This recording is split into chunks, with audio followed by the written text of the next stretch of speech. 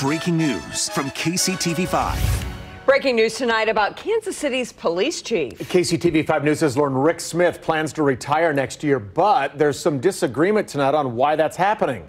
Police say it's part of the commitment Smith made in 2017 to serve no more than five years as chief. But the president of the Urban League tells KCTV5 News that the chief is being forced into early retirement. KCTV5's Emily Rittman is live now at police headquarters with what we know so far. Emily?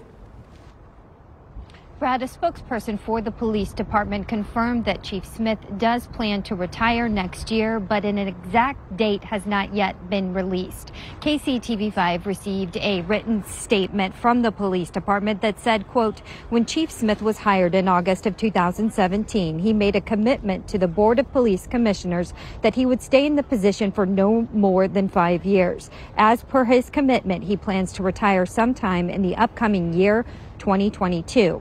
He will announce that date well in advance to ensure a smooth transition for the police department. End quote. Smith joined KCPD as an officer back in 1988. In 2020, protesters and activists began calling for Smith to be fired during protests calling for racial justice and an end to police brutality.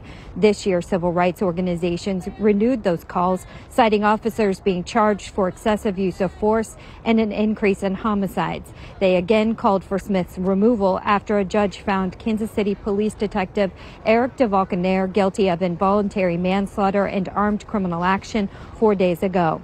We did ask Mayor Quinton Lucas for comment. KCTV5 received a written statement that said, quote, Mayor Lucas will not discuss personnel matters in the press. He appreciates all the dedicated women and men of the Kansas City Police Department, end quote. And this is a developing story, and we are still working to gather more information. Stay with KCTV5 News for updates. Reporting live, Emily Rittman, KCTV5 News.